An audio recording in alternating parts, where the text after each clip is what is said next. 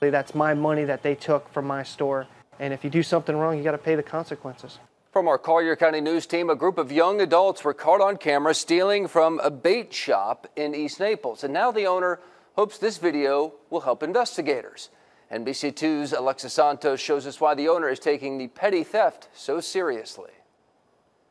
While the merchandise that was taken wasn't worth that much money, the owner says he still plans to pursue all necessary steps for pressing charges. Locally owned Serenity Bait Company specializes in live bait and other fishing merchandise. This year's red tide issues made a major impact on them. For uh, probably four months, we were down 60% in sales. Uh, we'd be lucky to have $50 in sales in a day. That's why when owner Brian Hayhurst saw this Sunday, he was infuriated.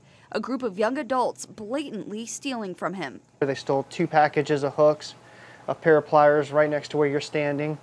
Um, after stealing the pliers, they looked up at my camera and laughed at it, thinking it was funny.